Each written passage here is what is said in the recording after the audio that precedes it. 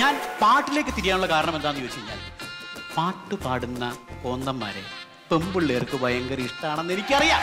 അത് സത്യമല്ലേ? പ്രമദവനു ഇന്നിതാ തോർത്തൂരിപ്പോയി. എന്റെ പാട്ടിൽ സംഗതി ഇല്ലാന്നായിരുന്നു പരാതി.